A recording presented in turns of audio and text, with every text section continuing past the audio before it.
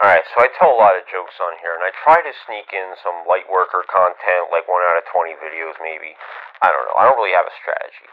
Sometimes it comes to me, but as a comedian, when I go back to look at what I was trying, I got interrupted. I was in some really deep stuff.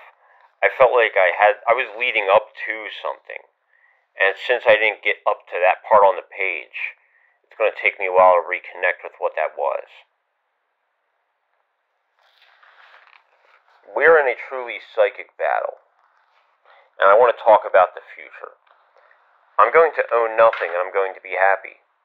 I don't need a car because I can order from DoorDash or get a lift. But I won't be able to do that unless if I have a good social credit score.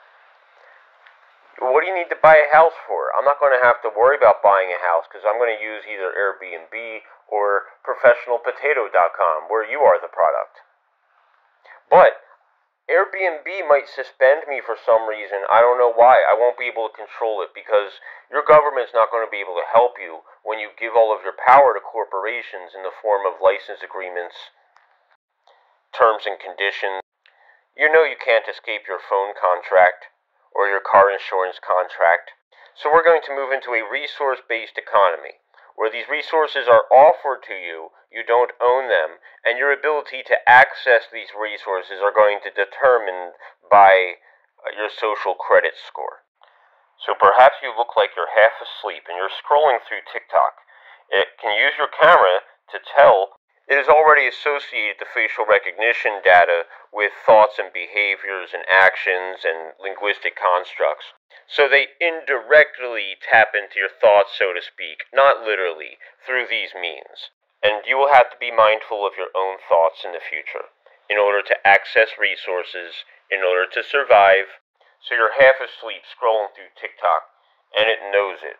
You know, it knows that. And then on your FYP, it shows you someone, it shows you your crush, and you're like,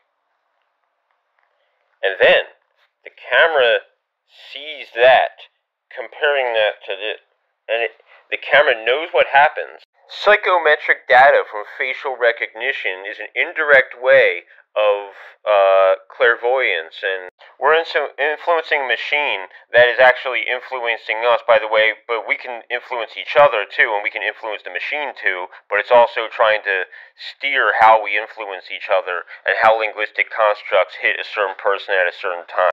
Some of us are already very skilled at operating in an all secrets known environment. And there is so much more I have to say. But anyway, uh, anybody who's watching this is going to be fine. I mean, you people are already like on your